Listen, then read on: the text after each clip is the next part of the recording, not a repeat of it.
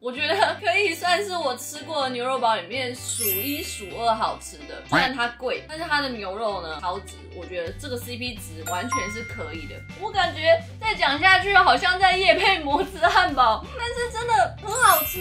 哈大家好，我是妮雅，今天呢又来到我们的美食新品开箱系列啦。新年快要到了，所以有很多的店家呢也都会因应新年推出很多新品。那我们今天要开箱的店家呢，就是摩斯汉堡在新年推出的期间限定商品和风熏菇厚牛堡和干贝 S O 酱海老珍珠堡，一次开箱两个汉堡。那其实我本身呢也还蛮喜欢吃摩斯汉堡的，虽然大家都说摩斯汉堡就是被汉堡耽误的红茶店，我自己呢也是非常喜欢喝它的红茶啦。但是我觉得其实它的汉堡呢也都做的还蛮有特色的，跟其他的素食店一看就知道有非常多的差别。它主打的米汉堡呢，就会让我觉得吃起来好像有那么一点比较健康。所以这次要开箱的新品，其实我还抱有蛮高的期望的，觉得摩斯汉堡出的汉堡应该都不会太差。那我们现在就话不多说，直接来开箱吧。那这就是我们今天要开箱的新品。那这个呢是和风熏菇厚牛堡，然后这是 O 酱海老珍珠堡。其实摸起来真的是没有很大一个，毕竟摩斯汉堡大家都知道，就是比较小巧、比较精致一点。然后价位呢稍微偏高一些，这个的话是一百一十五元，然后这个的话呢是一百零五元。但一个汉堡其实都是要破百元，那算是还蛮贵的。先来吃厚牛堡吧，大家给大家看一下它的外观。噔噔噔，好像 没有很特别，扁扁的，一般汉堡的感觉。我们把它打开来看。哦，有啦有啦！打开之后呢，其实有蛮多的熏菇的，还可以还可以。然后就是一块厚牛跟一些生菜，试试看吧。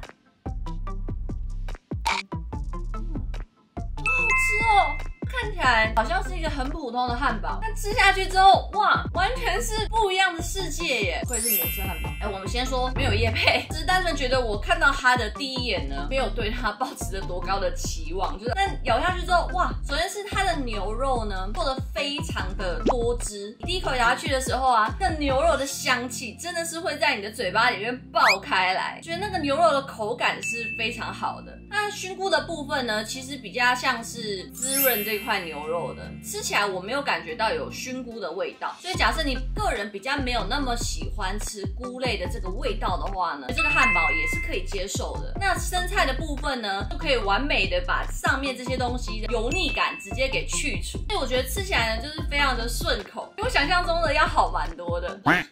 太好吃了，因为其实我自己本身开箱很多素食的汉堡，吃过非常多的牛肉堡。这个牛肉堡呢，我觉得可以算是我吃过的牛肉堡里面数一数二好吃的。虽然它贵，但是它的牛肉呢超值，我觉得这个 CP 值完全是可以的。它的牛肉甚至是超出了这个面包的范围，厚度大概也有来到一公分上下。突然间觉得好像也没有这么贵了呢。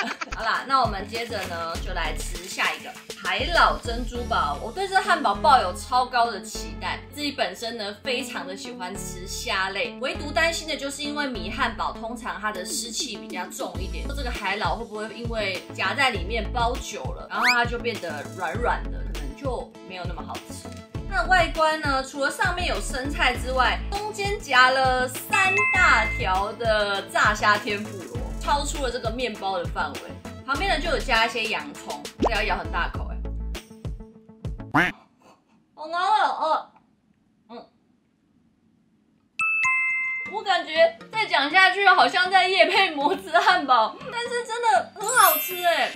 个小小缺点就是它的这个炸虾天妇罗确实像我们刚刚讲的。没有那么的酥脆了，但是它里面的那个虾子真的是非常非常的鲜嫩。因为我们一般吃到的天妇罗呢，皮呢跟它的虾肉是分开的，但是呢，它的这个炸虾呢是完美包覆在一起，那咬下去超级软嫩。觉得如果它是现点现吃的，完美。一开始也有想说炸虾配汉堡会不会有一点点怪怪的，而且它搭配的还是米汉堡，好像有点像炸虾。的寿司，但是又因为本身爱吃虾，很想给它抱有很高的期待，但又很怕受伤害，吃下去，真的很好吃哦。另外还要再说一点，就是它的炸虾虽然已经是有点软掉的状态，你也不会感觉到它的表皮是很油的。这也是我觉得摩斯一个非常大的优点。觉得这个汉堡表面上这样看上去呢，还是一个蛮健康的汉堡。那我们现在来吃一下这个比较多洋葱的地方。我觉得这洋葱呢是加分的，它没有很重的洋葱味，在最尾段的部分呢，帮你的虾子再多做出一点点的层次。就是你虾子可能要咬蛮久的嘛，给它稍微 Q 弹一点。那你在这个过程中呢，加入到洋葱的这个香气，突然又突然间多出了一个不同的味道。不过我们这个汉堡不知道为什么洋葱它只有在某一面而已，洋葱如果再分布的更均匀一点的话，我觉得整个汉堡呢都会吃起来更好吃一些。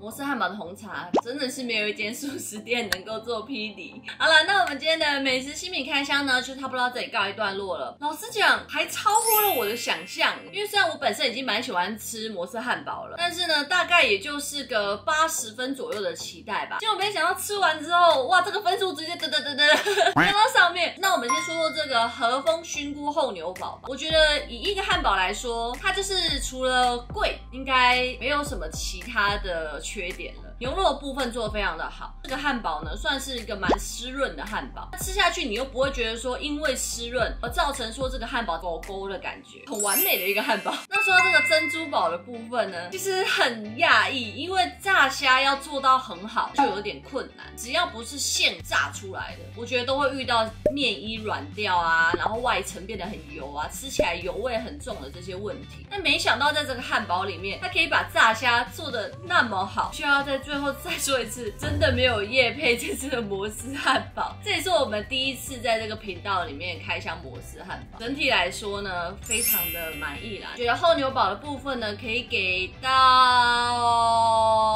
八十八分左右。以厚牛堡来说，算是真的蛮好的。唯一扣的点就是它真的还是有比较小一颗啦。珍珠堡的部分呢，我觉得可以来到九十一分，真的是比厚牛堡还要再让我更惊艳一点。主要是它的食材难料理，所以非常值得给予高分。好了，那我们今天的开箱呢，就到这里告一段落了。如果喜欢我的影片的话呢，记得帮我按赞、订阅、分享、开启小铃铛哦。我们下期见吧，拜拜。